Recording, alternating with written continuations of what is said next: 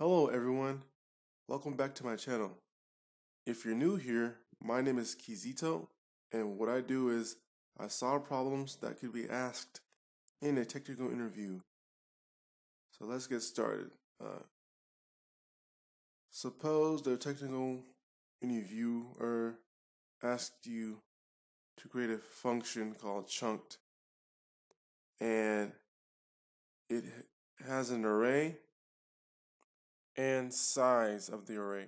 And the interviewer wants you to divide the arrays into many subarrays. And the subarrays are of length size.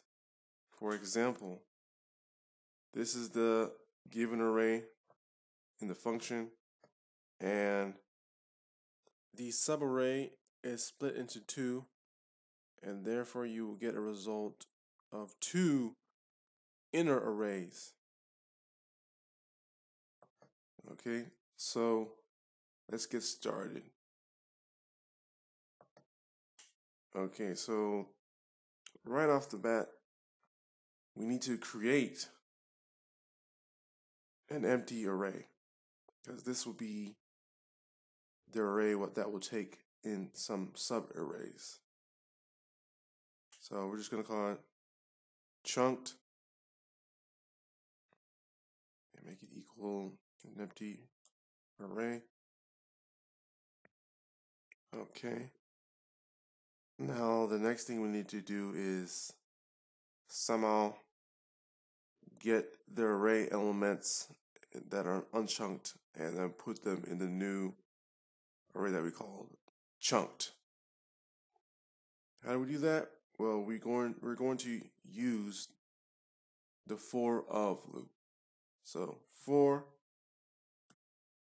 let element of the array set. Okay, now that we got this for of loop set up, the next thing we need to do is find the last element in the chunked array, which is this right here that we created.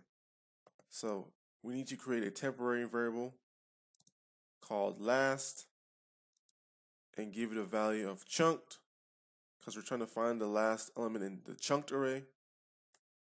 And then inside the open and close square brackets, we need to type in chunked dot length. So it can find, so it can be the length of the chunked array. But since this is inside of a array, we need to put minus one because we don't start from 1 to 4 based off of this up right here. Which, this is what we're going to type in for the array. So yeah, we're just putting minus 1 so I can start from 0 all the way to 3. Because that's how you count in arrays. That's how you count array elements. Alright, now we need to create a condition that says if there is no last element in the chunked array, or its length is equal to the size, then we're just going to add in a new array with an element or with the current element that we're in right now. And the new the, the current element right now should be one. So we're going to type in last dot length is equal to size. And then what's going to happen is it's going to add a new array with an element inside of it. How do we do that? We just type in open and close square brackets and type in element. All right. Now, if there is an element or the last element in chunked is the size, it's not the size, then we, we're just going to do this instead. We're going to push in the element inside of last, which the the technically the value for last is actually uh, an open and close square brackets with, let's say, like zero. But right now, it's going to have one because we just pushed in the, the current element inside. That's coming from the unchunked array. So that's what it is right now. All right, once that happens, it's going to uh, repeat again, and now the current element should be 2. And the chunked, or the last element inside chunked, should be uh, 1. Just going to go through this again, see if there's no element, or no last element inside chunked, and then see if there is a, if the last element is equal to the size. If it is, then it will just push in a new array with an element inside of it. But it is not. So it's going to go back down to this uh, else one and add another element. And it should be 2. All right. Now that this has two elements in it,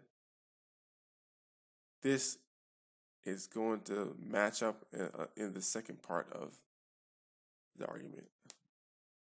So it should be, so last length should equal the size. And then an element or an array with an element will be pushed into chunked.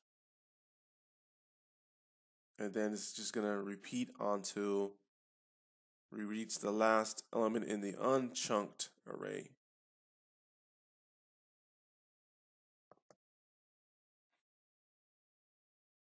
And then once that's done, we will return the chunked array. Which in turn should give you a result of this above here. With two subarrays inside of an array. Okay, so let me just get rid of this right here. And now we're going to copy this function all right, we copied it, and then just like in the previous video, how I showed you this new method of entering the console inside a terminal, we're going to type in node, press enter, and then we're going to paste in the function.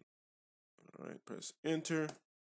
Then we're going to call the function chunked array, give it an array for the first parameter. It's going to be one, two, three, four just like above here. And then we're going to give it a size of 2. And voila, there it is.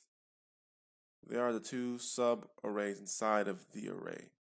This is a chunked array function. That's it for today. You'll have a good one.